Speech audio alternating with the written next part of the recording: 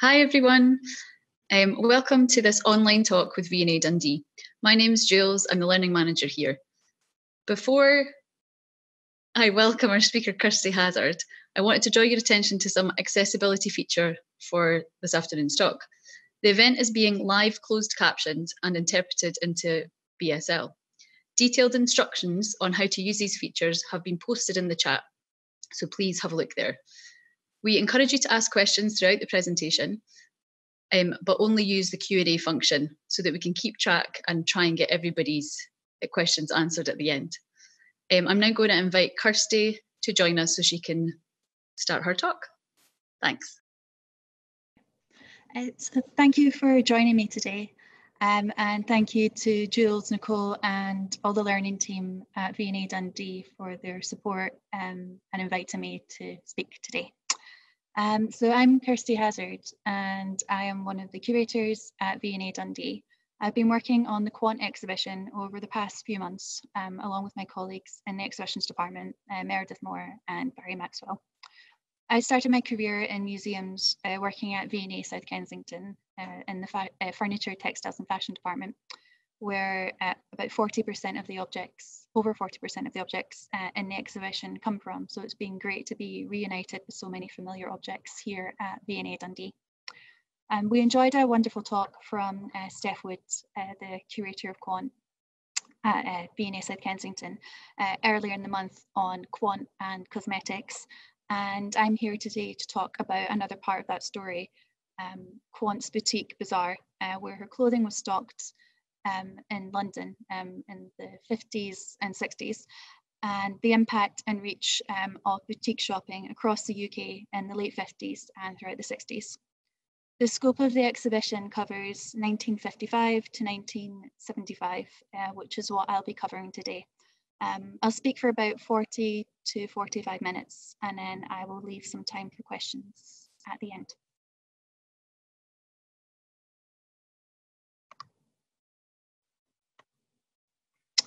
So as Steph covered um, a few weeks ago, and to recap, uh, the exhibition Mary Quant is the first major fashion exhibition at V&A Dundee, and it's the first international retrospective on the iconic British designer who disrupted the fashion establishment, captured the spirit of London in the 60s, and started a fashion revolution for a whole generation who wanted to take part in, and it still continues today.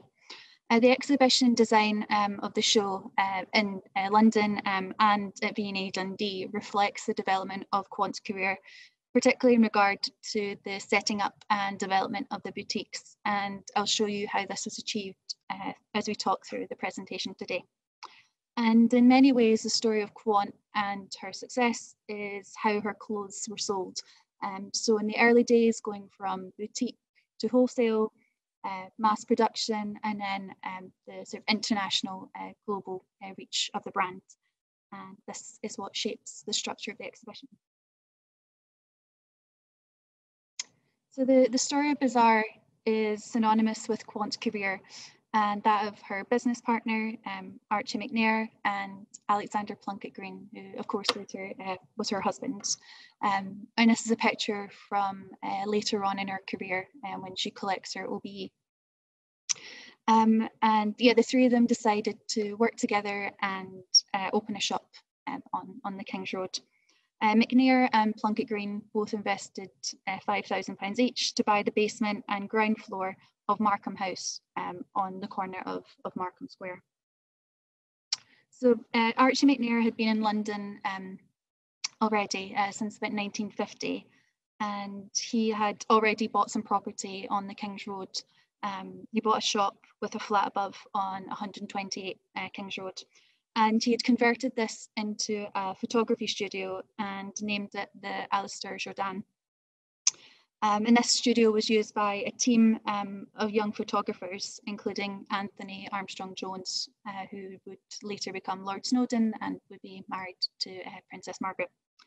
Um, the location of the studio was, was really important um, because it became the focus of the Chelsea set when McNair opened a coffee bar in 1954, uh, which is what you can see in the image here. And it was one of the first coffee bars in London and the first outside Soho, and it was called the, the Fantasie. and it had an Italian Pavoni espresso machine, um, again, one of the first in London, and it functioned as a sort of common room uh, for artists, actors, and aristocrats who lived in the houses and bedsits of the surrounding streets and squares. It was a huge success, and it was crowded every night with a large group of people who would uh, be known to come to be known as, as the Chelsea set. In evenings, uh, vodka was occasionally and illegally uh, added to the drinks, and a local Chelsea band called the Chas Devitt Skiffle Group uh, regularly played here. Um, and a sort of continuation um, to the group that McNair had been working with in the, the, photo, uh, the photography studio. Um, so the friends and neighbours that surrounded the shop were, were really quite important. So they included people like, as I mentioned, um, Anthony Armstrong Jones, uh, the Honourable Robert Erskine, who was the Marquess of Bristol, and the publisher Mark Boxer, who worked on the revitalised Queen magazine.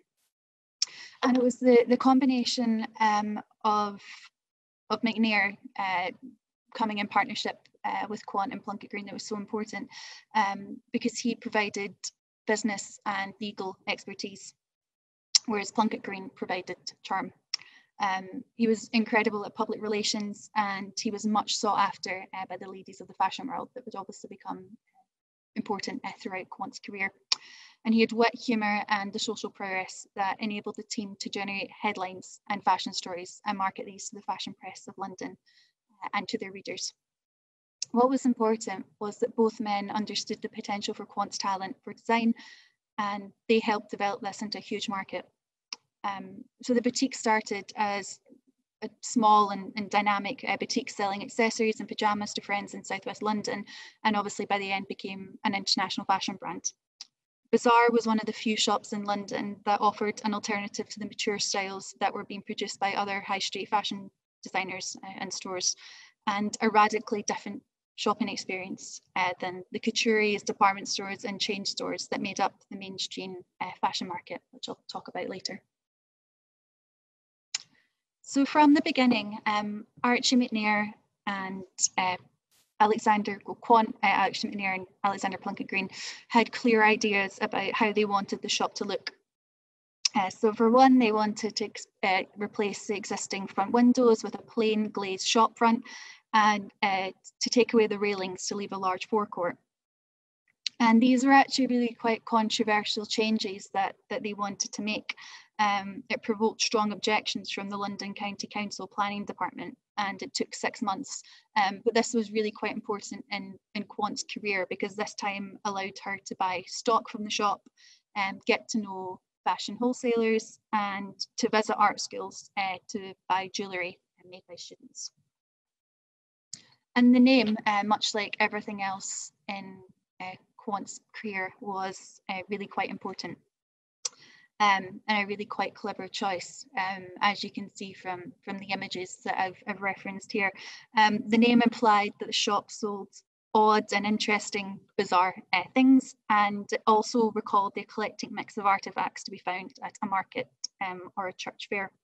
Bazaars are important in the history of retailing, uh, going back to the 18th century, um, the first bazaars were covered walkways where exhibitions as well as shopping stalls encouraged shopping as uh, a leisure activity, um, which is obviously something that the idea of shopping becoming um, more of a leisure activity rather than something practical is something that had been going on uh, since the 19th century and, and Quant inherited this uh, with Bazaar.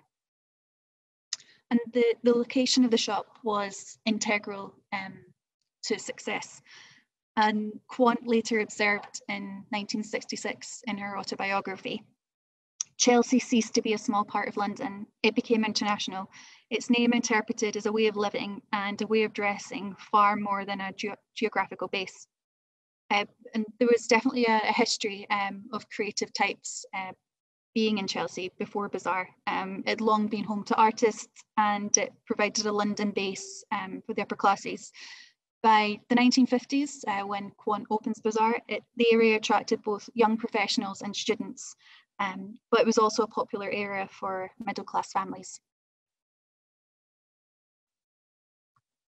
Uh, amongst the family homes were houses divided into uh, bedsits um, or studios that attracted artists and actors. Um, and as I mentioned already, Quant and uh, her husband were at the centre um, of this group of people throughout their career.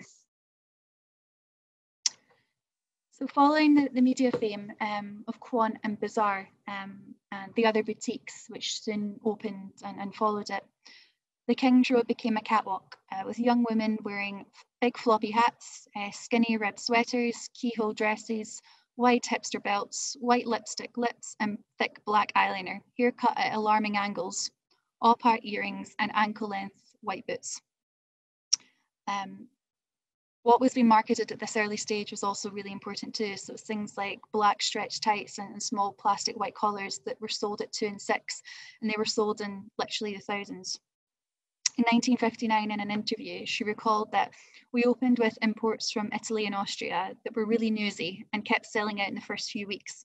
The next step was getting London wholesale houses to make up my own designs, and eventually I was able to open my own workroom.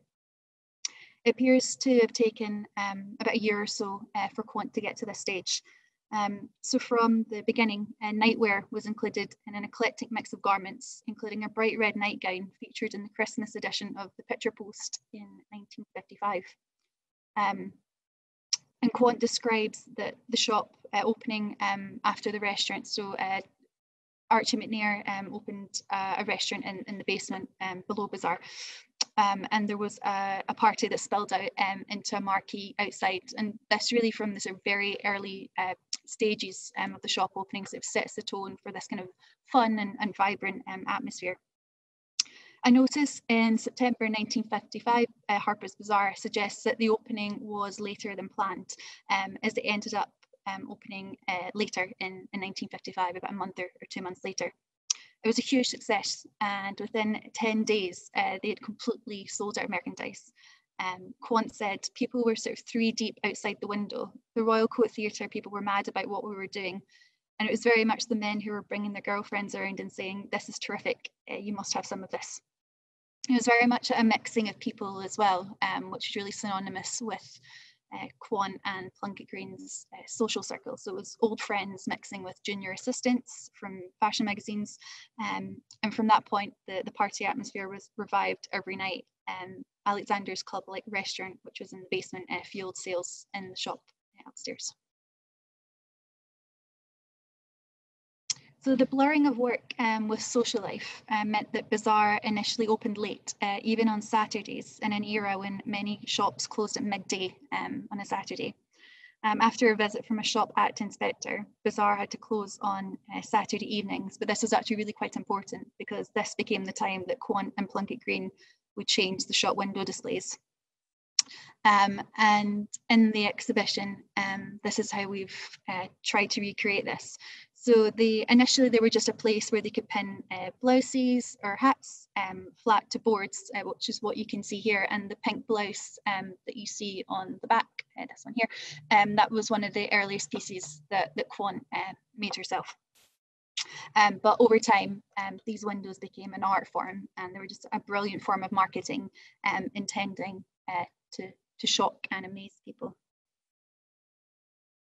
And uh, she's quoted as saying, uh, we wanted to entertain people um, as well to sell to them. And I think this photo is yeah, pretty um, symbolic of that. Um, occasionally they would make some colossal extravagant gesture um, meant as a, a pure joke, uh, wanting the old ladies who had no intention of buying anything to stop and stare. Uh, so we had to be arrogant then, arrogant then. We had to make a sharp, shocking statement at the beginning uh, to be noticed at all the, the windows and the whole ethos um, of Bazaar uh, shared a spirit of irrelevance, uh, irreverence sorry, and satire uh, with the new theatre, uh, television and publishing. Um, so you really had to think about the whole social context and, and cultural context at that time. So this is at the time when Beyond the Fringe, Private Eye, and That Was the Week That Was uh, were all launched. And the displays were ever changing and very eclectic. Um, for example, sometimes the displays would purposefully appeal to husbands and boyfriends, um, the women buying the clothes. Um, so for example, the Christmas window in 1960 was photographed by an art student who worked in the building op worked in the building um, opposite. Um, it was a mannequin uh, dressed in a simple shift with a white bodice and a black skirt that was posed opposite a Harley Davidson motorbike, um, emerging out of a huge foil wrapped parcel. A handwritten speech bubble caption read, Thinks just what I always wanted. Uh, Christmas windows, um, which required special effort for all retailers, could involve uh, logistical challenges uh, for friends of the, the Plunket Greenes, um, as uh, Shirley Conran, who's the partner of uh, Terence Conran, who later worked on one of the shops, commented. And she said, um, once Alexander woke me about midnight, uh, just before Christmas, to frantically ask, have you got a stuffed partridge? No, only a stuffed squirrel or stuffed fish um, in glass cases. No good. How about a pear tree? the exhibition, we tried to recreate uh, some of the, the ethos and, and the spirit um, of how Quant's window displays at Bazaar. Um, so for example, um, there was windows that um, employed surrealist tactics, uh, such as one with a figure leading um, a large uh, dead but clean, uh, which was emphasised, uh, lobster on a lead um, that we've recreated uh, in, in the exhibition is seen here. Um, another one, for example, showed a, a, photographer figure hung upside down, um, his camera pointing at a mannequin hung at an obscure angle. And Bazaar brought a distinctive, dry, uh, British sense of humour to the art of shop window displays. American department stores, uh, such as Marshall Fields in Chicago, uh, were firmly established as leaders in visual merchandising, um, and they had reflected art movements such as surrealism, um, which is also what, what Quant is trying to reference here with the reference to Dali and, and Schiaparelli, but they've been doing that since at least the 1930s. Um, and by the 1950s, uh, artists such as Roy Lichtenstein, uh, Claes Oldenburg, and um, Andy Warhol were working on the window displays of shops such as uh, Bonwit Teller, um, the New York department store. And uh, the, in America, um, they were definitely much further ahead um, than Britain. Um, and really, Quant is one of the first designers that really starts off this sort of like, yeah, innovative, eclectic um, way of, of decorating windows. Um, in the UK, it took until uh, the Reimann School of Art and Design um, set up their, their commercial art uh, course, uh, commercial displays course, sorry, and they were the first really to focus on that and they were one of the teachers there, um, Natasha Kroll, um, who taught at the school and coincidentally gave Ter uh, Terence Conran his first display commission, uh, became the display manager um, for the clothing store Simpson of Piccadilly. And Quant and Plunket Greene would certainly have seen some of these and it would have inspired them in how they thought about their own uh, window designs. And uh, David Mlinaric, the interior designer, said, I remember the typeface and the big plate glass windows and the fact there were just two dresses um, and you saw straight into the shop. There might have been a screen or something, but it wasn't a normal shop window display. It wasn't 18 dresses with lipstick and pretend wigs on. It was a different look altogether. It was terrific. And one of the other things um, that we've recreated in the show is the innovative mannequins that Quant chose to use and she worked with uh, a display artist, uh, John Bates, um, different to the fashion designer John Bates, and a company called uh, Barway Designs to create figures with contemporary high-boned, angular faces and the most up-to-date haircuts. She said I wanted them with long, lean legs like Jane Shrimpton, uh, made to stand at real life, uh, stand like real life photographic models in gawky poses with legs wide apart one knee bent almost at right angles, and one toe pointing upwards from a heel stuck arrogantly into the ground. By using images um, of the original mannequins, the poses of the models Quant used, and fashion photographs, the textile conservators and costume mounters at V&A South Kensington, in collaboration with the original uh, curatorial team, were able to collaborate with the London-based mannequin company Proportion to achieve these looks and recreate the dynamic poses um, of the mannequins and models um, in the exhibition, uh, which some of them you can see here. Um, so retrospectively and uh, recalled in her, her autobiography, uh, written uh, 10 years after the first shop opened, Quant recalled the early days of Bazaar as an awful hand-to-mouth existence. Um, the accounting was haphazard and the trio were not taken seriously by the fashion trade. Quant sewed dresses at night to sell next day in the shop. She said, I had to sell one day's output before I had the money to go out and buy more material. And their collective lack of experience in the fashion business meant that they sold their clothes and accessories uh, too cheaply, which meant losing uh, money on everything they sold, but also upsetting the local shops and their wholesalers um, by undercutting the fixed retail prices. However, young people soon took notice and the brand began, sorry, began to become more established. Although in the early days, the clothes weren't particularly cheap um, or affordable. And as I mentioned already, um, initially, rather than designing clothes for the shop, Quant gave herself the task of buying um, and, and stocked the, stocked the shop with uh, these initially. So owing to Plunket Greene's connections with fashion journalists, the fashion magazine Harper's Bazaar became an early supporter of the brand. In the September 1955 edition, a small photograph of smart tan pyjamas with big penny spots for four guineas was featured in the shopping bazaar feature. And the caption uh, at this point mentions Quant um, as a young milliner. Um, this is where she'd started her career was uh, trimming hats um, in milliners um, later, but these pajamas turned out to be really quite iconic because they were one of the first pieces of clothing that she designed um, and they cost five pounds, which was a whole week's wages, wages for her. And it's around about this point that the focus um, changes uh, for Quant. So rather than uh, just buying stock for the shop, um, she was inspired to focus on designing clothes, um, which marks this change in her career. Um, in the early stages, she began adapting Butterick patterns and making clothes in her bed set um, using fabric she bought at Harrods with only basic dressmaking skills. And later she brought on three dressmakers and a cutter to help. These dresses were a huge success um, and sold um, as soon as they were made. And she did continue to stock other wholesale ranges though, which reflected her style and what she thought customers wanted to buy. Uh, the exhibition also reflects the customers uh, who bought and wore Quant's clothing um, at different stages in her career. And I'll go on to talk about that a bit more later. Um, but in the early stages of Bazaar, her customers were initially a small group of friends and local residents of Chelsea. Um, but as the area became more developed, her clientele became much more diverse. And Quant uh, sums this up by saying snobbery had gone um, out of fashion. And in her shops, you'll find duchesses jostling with typists uh, to, to buy the same dress. And part of her success was her ability to identify gaps in the market and to recognise what, one, what young people wanted in an era of social change. She saw women like herself who were rejecting stereotypes such as debutantes who required formal dresses for dances and silk afternoon dresses for Ascot and Henley. Um, and there's definitely this coming change in the social order. And yeah, there's a display um, in the exhibition entitled The Death of the Debutante um, because the formal coming out and court presentations ended in 1958, which was the same year um, as Quant's latest branch of Bazaar, the, the one that uh, came after the King's Road branch um, opened. But in the early years um, of Bazaar and of Quant's career, there's still very much an overlap with this era, um, especially women who needed gowns and party dresses for these uh, formal occasions. And one of these would cost about 15 and a half guineas, um, which is around about 341 pounds today. Um, whereas a couture party gown would be double the price.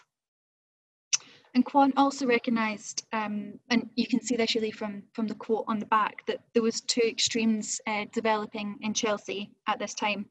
So there was uh, wildly pseudo-bohemians um, who were renovating old houses and wearing ex exaggerated fashions, um, with poor students who were wearing the, the beatnik um, style of clothing. And in response to this, uh, was very much inspired by what was going on around her. It's really one of the reasons why she was so successful. Um, so she drew inspiration from the mods. Um, so she created simple, stylish clothes which were cool, sharp, almost anonymous, and classless and inclusive and she was featured in an article in Harper's Bazaar in uh, 1957 that perfectly encapsulates this look. Uh, so um, by 1957, so only two years uh, after uh, the original shop is opened, the time had come to expand the retail business further from the original King's Road boutique, um, this time in Knightsbridge, uh, right opposite from Harrods. And unlike the King's Road boutique that was designed in-house, uh, Terence Conran was commissioned to design the interior. He designed the staircase and the mezzanine level. and Conran commented that Quant and her partners wanted the boutique to be constantly on the move, uh, with customers and models changing clothes and coming up and down the stairs. Uh, they didn't want anything to confuse this idea of a fashion show. And this is really the point that Quant um, and Bazaar become a major fashion brand and force in London. Uh, the shop opened in the autumn uh, with a press party and a fashion show, making the most of uh, the, the mezzanine uh, gallery stairs uh, that you can see uh, up here and, and, here where she's standing on the stairs. Um, and that was organised with the help of a fashion editor, fashion editor, sorry, Clare Rendlesham, who inspired the shop's first mention in Vogue in December 1958. So the new shop continued the bizarre format of surprising shop displays and uh, lively fashion shows to a more mainstream audience. Um, as I previously mentioned, the, the shop was well designed to stage fashion shows, um, having a mezzanine and the, the feature staircase, and she would continue to use a small selection um, of her favourite models to showcase the design, her new designs, um, which would uh, continue until the shop closed in, in 1970. And something that becomes um, really more common um, as the brand continued, uh, Quant and, and Plunket Greene became the faces of the brand, um, accompanied with a bold graphic design that featured on the Bazaar van, and carrier bags, receipts, and letterheads. It's very rare for garments to survive from uh, the early years um, of Bazaar. Uh, one of the earliest that featured in the exhibition is a pinafore made from striped wool, and another is this purple silk dress uh, that you see here um, that the owner described as uh, buying it as a coming of age uh, landmark. Um, and it's also at this stage that Quant begins to um, to have collaborations with uh, textile manufacturers, which is something that she continues through her career. Um, but at this point, it was with Edward Rayne, uh, the shoemaker, and with uh, John Lang of Hawick, um, a knitwear manufacturer from the Scottish borders. So by the early 1960s, uh, there were um, increasing demands for Quant's designs. Uh, the first Mary Quant wholesale range was launched in autumn 1961 and there were 11 stockists, uh, such as the London department store Liberties. It was very successful, and the number of stockists were expanded to be outside of London. Um, the north, east, including Newcastle, Liverpool, Chester, Leeds, and Hull, and uh, smaller towns like Southwold that was uh, hugely successful in, in selling quant. The team uh, were very particular in who they sold to. They only wanted to sell to those who could show the clothes as a group and to their best advantage. Um, and advertisements at this time um, include a double page, double page spread in the Times in May 1961 um, that show the new stockists as Marshall and Snelgrove in uh, Leeds, you can see on the left, um, Darlings in Edinburgh uh, on Princes Street and Woollands in London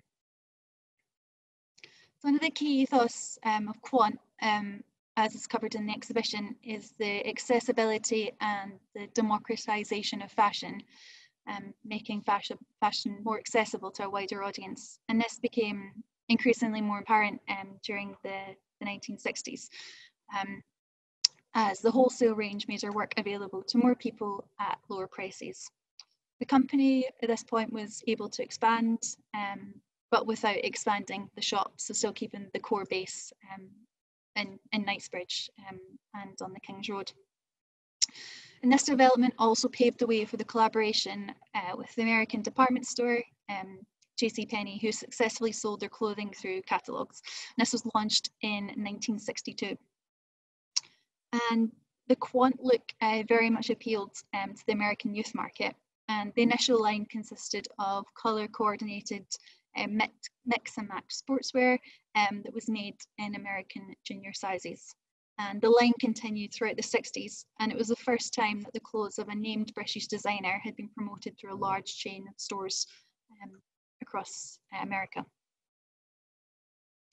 This also uh, led to the establishment of uh, Ginger Group um, in 1963. Um, and as with everything else, names are obviously very, very important um, to Quant.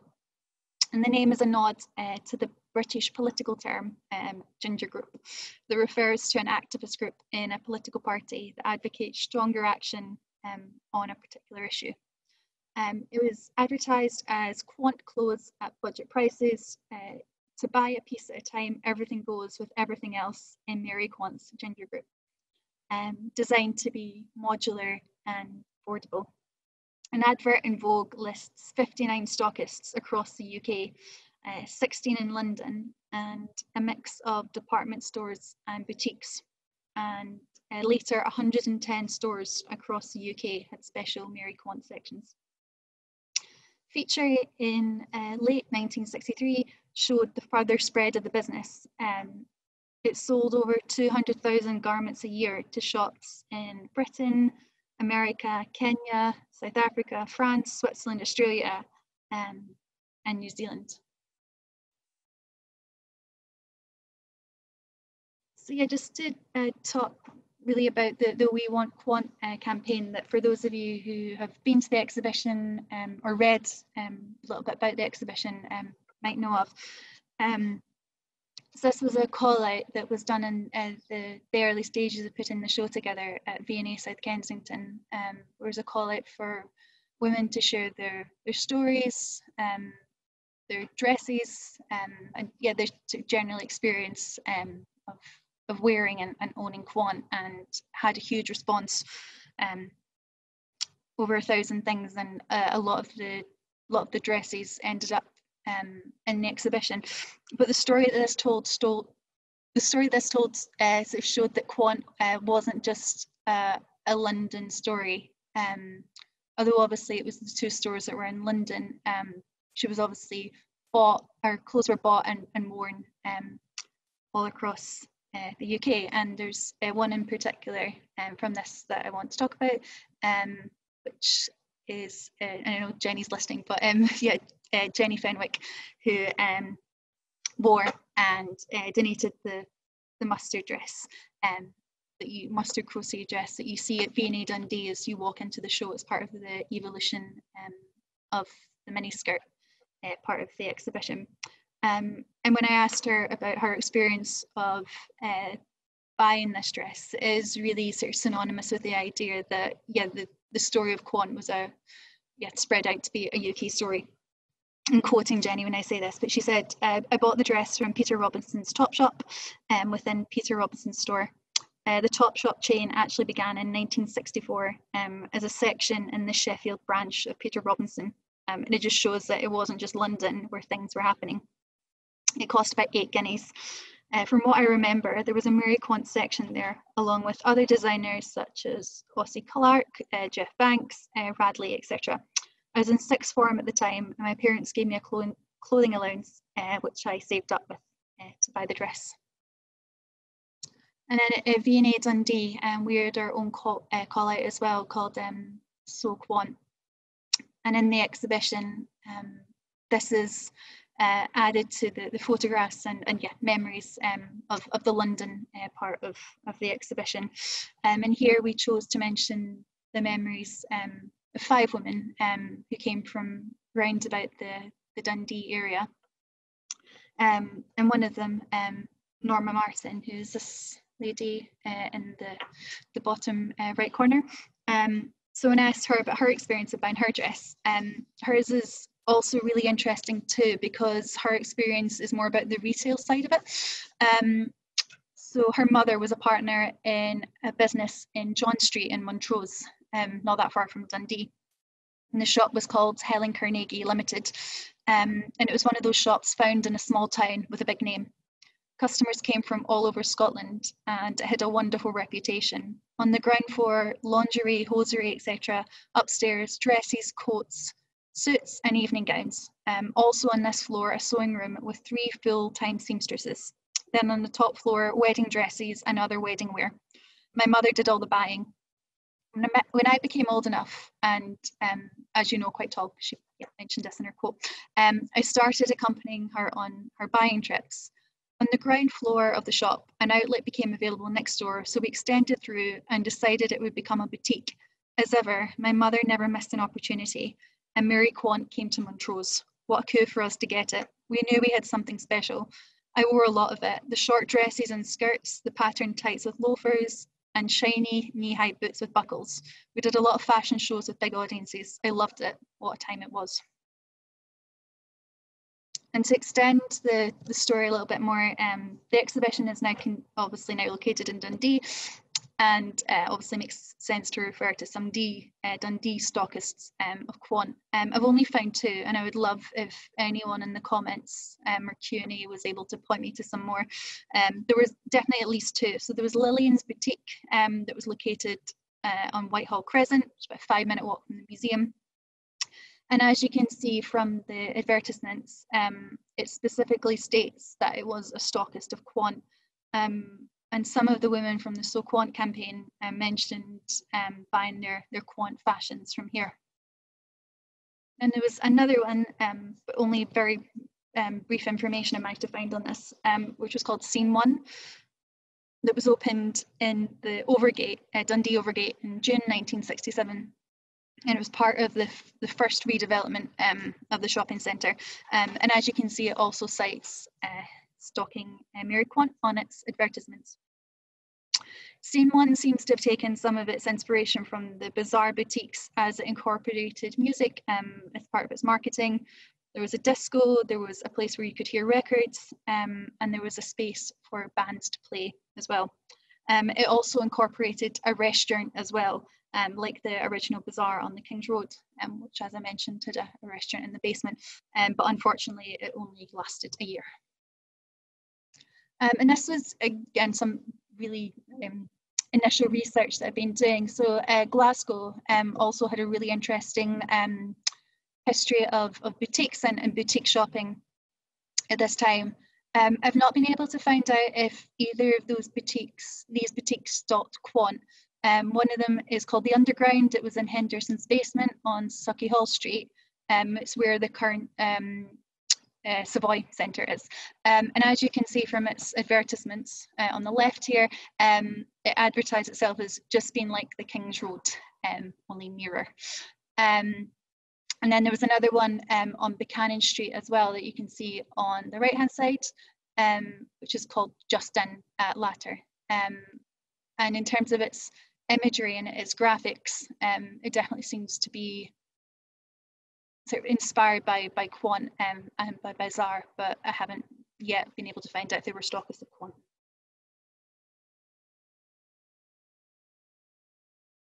So uh, turning the story back to Quant, um, by spring 1965, she was generating 200 designs a year uh, for mass production that comprised of four collections of 50 garments each um, for Ginger Group. And there was also the introduction of the Butterick's pattern. So as I mentioned, this is really how she launched her career back in the 50s, where she was using Butterick's patterns and adapting them. And um, she starts producing her own. Um, and these were really, really important uh, to the story of, of her uh, democratizing fashion, um, because it really expands on that idea of you could purchase and, and own a quant creation, uh, but to your own budget, depending on how much you could spend on fabric. These were launched in 1964 and were hugely successful. Uh, several patterns sold over 70,000 copies. One of the most successful um, that is featured in the exhibition is the Miss Muffet pattern. Um, and this was a simple pattern um, that looked good with uh, plain uh, or patterned fabric. Um, that's it on the left here. Um, and then from the mid 60s, as we saw um, a few weeks ago with uh, Steph's wonderful talk, uh, the makeup range uh, was launched as well. So in, in terms of our boutiques in, uh, in London, um, she opened a third in 1967 uh, on 113 uh, New Bond Street, but increasingly at this point it was the mass-produced aspects of the business. Um, again, as Steph covered, the, the tights, the cosmetics, etc which were gaining the most attention in uh, the fashion press um, towards the end of the 60s. And by 1970, which was sort of in, in line with the uh, financial downturn um, of the 70s, uh, Archie McNair, ever the financial mind, instigated the decision to close all three um, of the bazaar shops in London. the argument being that uh, financial security was easier to obtain through the licensing um, rather than the boutiques. And as, as you'll know, that's how the, the, story continues today. So to conclude the story of Quant's boutiques, um, the King's Road, as always, uh, continued to be an area for innovative designers uh, to make their mark on the fashion world. Quant closed the Kings Road branch of uh, Bazaar in 1970, um, and Vivienne Westwood opened her boutique uh, with Malcolm McLaren called Sex further down and 430 Kings Road in 1974, inheriting the mat- mantle of fashion innovator into the new age of punk. And thank you for listening.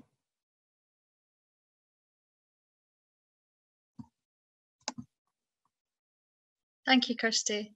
That was great. So I think now we have about eight, well, actually nine questions in the chat to try and get through. And I believe we have about 15 minutes to try and do that. So we're going to try our best. So bear with us. So let's go to the first one. So the first question actually was referring to the collections when you were setting the scene for V&A Dundee. And it's from, I'm afraid there's not a, there's not a name, but 780051 has asked, where did the other 60% exhibits come from to add to the exhibits from London? Yes, um, this is this was um, so basically the, the exhibition was uh, researched over a period of two years um, uh, at V&A South Kensington before it came to London. And the reason that exhibitions take such a long time is they're basically, I guess, like writing a book. Um, so much research goes into them, and part of that research is reaching out to different collections um, across the UK um, to find out what they had um, museum collections uh, in the UK to find out what they have in their collections.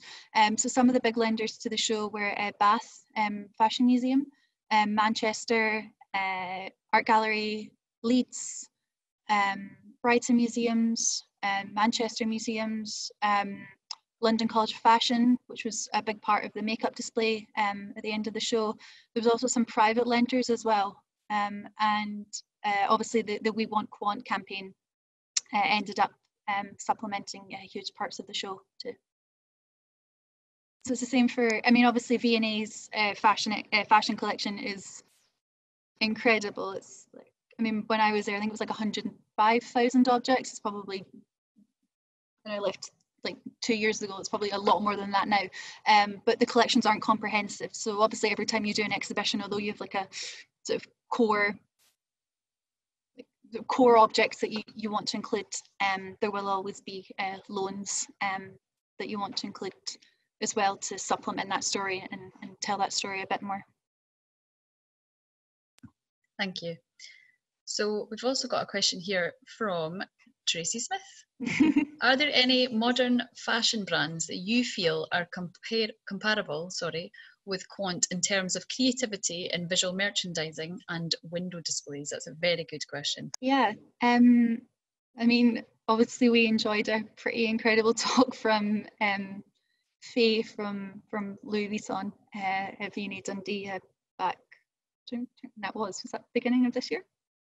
I think yeah, I think there's there's definitely in terms of like high end fashion brands. Um, I think yeah, Louis Vuitton are definitely up there in terms of innovation and, and pushing boundaries and so on. Um, in terms of the sort of like setup of the quant shop and the idea of all these different sort of areas um, of activity going on, um, it doesn't exist anymore. But Colette in Paris, the the, the store that that was pretty, I would say, it's definitely within the ethos um, of quant and Dover Street Market um, in, in Piccadilly in London. Um, they've got a definitely sort of yeah, a similar spirit, I would say.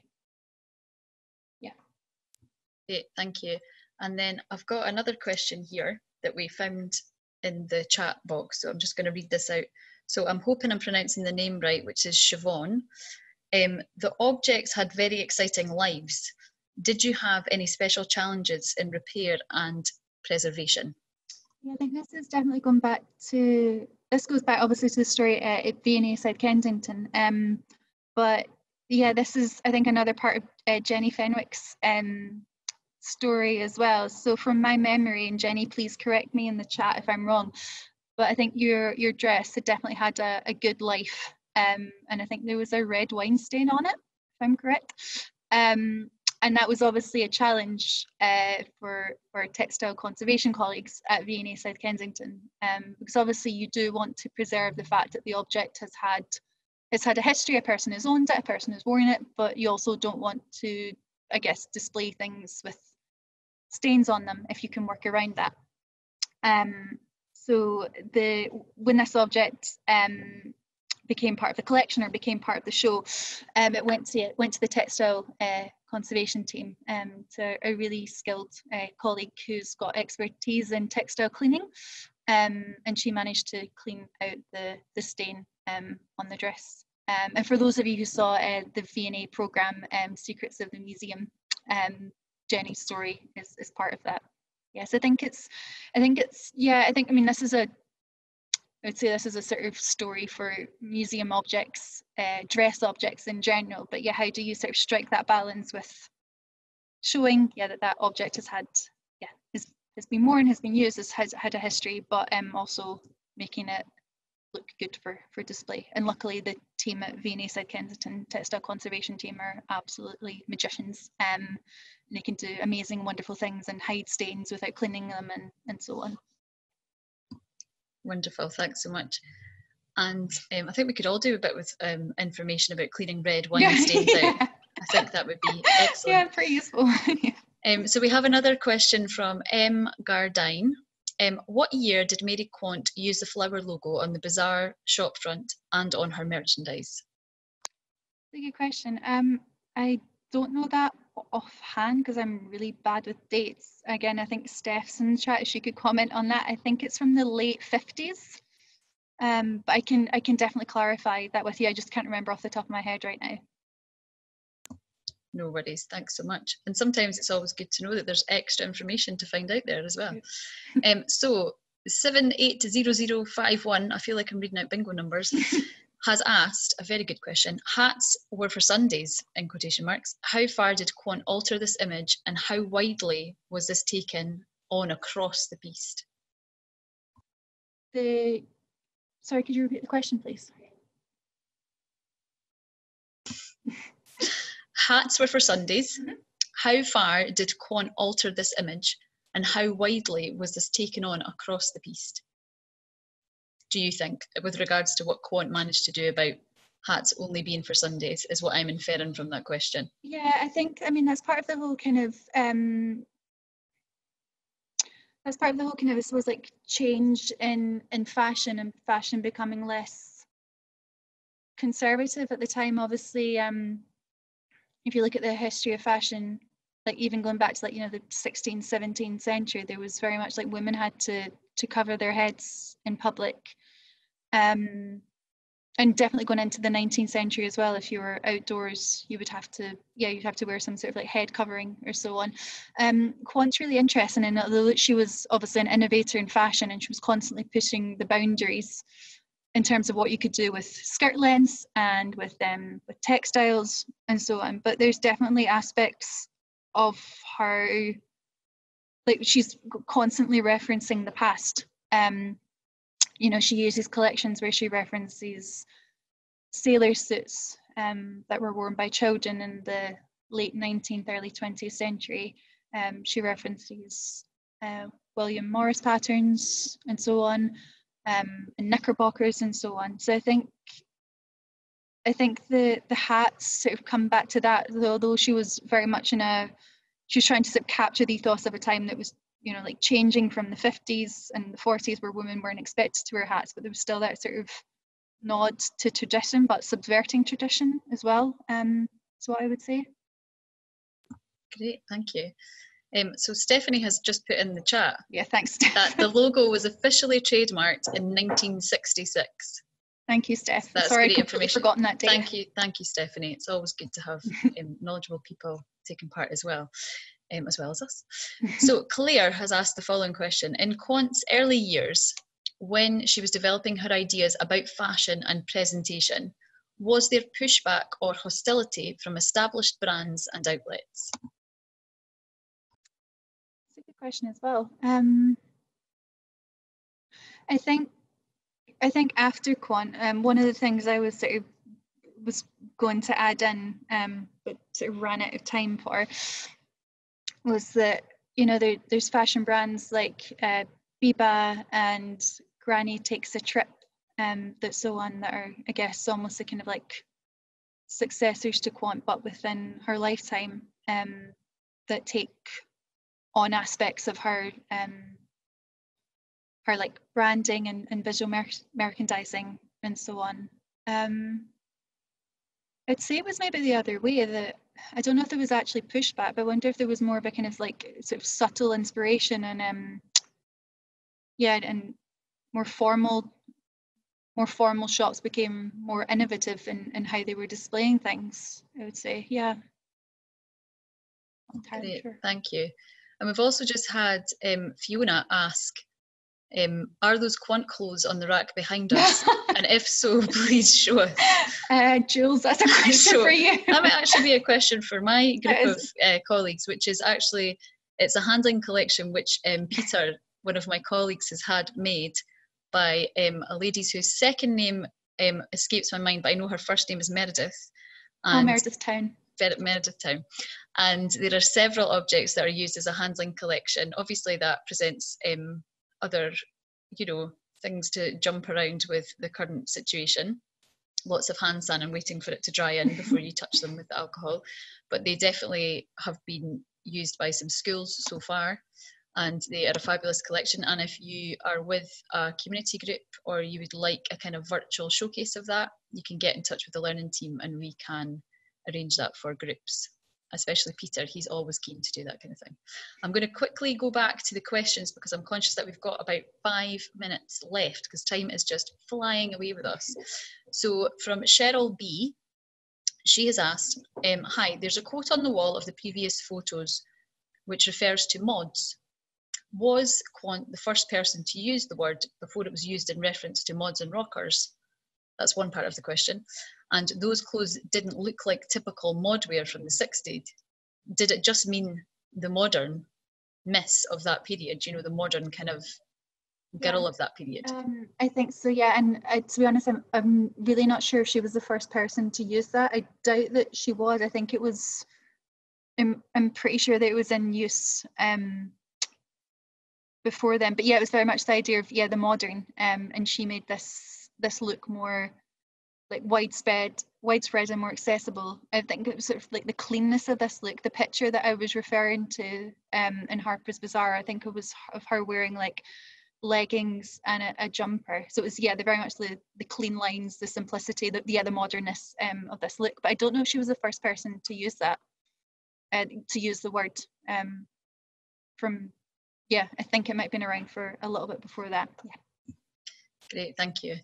Um, and Tracy has also asked, where did the original props, signage, staging, etc., used in the shop go? Were they archived? Were they lost, disposed of? Like, is there any more information about um, all those amazing props that you um, showed us? I think Steph will know a lot more about this than me, because obviously she was she you researched the the original show as it was at V&A South Kensington.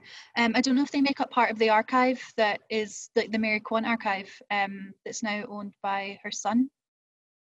Um, I'm, I'm not in, entirely sure. I mean, obviously from the show, the things that we have are, um, for example, we have like a, a carrier bag, but that is a loan. Um, I don't think that's from from the archive itself. So I don't know if even if those things still exist anymore. Um, I think the, the nature of shop design at that time was just that you sort of like rip things out and, and started again rather than preserving them.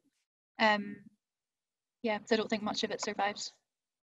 Great. Well, you would infer that after your comment about do we have a stuffed partridge? Was yeah, partridge? it's true. yes, we kind of think. oh, yes, Steph said, yeah, they don't. Yeah, I don't think they do. But yeah, so, so Stephanie said, sadly, the shop design and props didn't survive in the Mary Quant personal archive. Yeah. I think they probably just used them for a party. yeah. that, but that's just my personal. Yeah, the things that we have in in the exhibition are um, like letterheads and yeah, the bags and so on, and I think they're really quite rare survivals. Um, yeah, as, Steph said, I think yeah, pretty probably very ephemeral and, and not meant to be around for a long time. Indeed. So um, somebody's asked, I'm just conscious of time. We've got two very quick questions to finish with, but we've got one just before that. that's just a little, can you say a little bit more about the Ginger Group that inspired the name being taken on for the Quant collection? And that's also by a, an anonymous attendee, but again, a number 780051, which I think may be Avon from earlier, but I, I could be wrong. So Kirsty, could you just say a little bit more about the Ginger Group that inspired the name? Yeah, I to be honest, I don't know. Um, I don't know specifically what um, what like uh, period um, of political history that she was referring to um, when she used the name. Um, like I said, just that it was seen as a sort of like a way to push um, push ideas through, which I think is really synonymous with her as, as a designer um, and and as a brand. Um, but yeah, I can I can definitely follow up on that to find out if there if it was like a particular era or, or something that she was referring to. Yeah. Wonderful, thank you. And a very quick question: Is the exhibition going anywhere after Dundee? Uh, yes, I think it's pretty. I think it's open knowledge. It's going to Australia um, after after it closes um, at Dundee. So it shuts here on the 17th um, of January 2021. So you've still got a, a couple of months um, to see it, and then it goes to uh, Bendigo um, in Australia.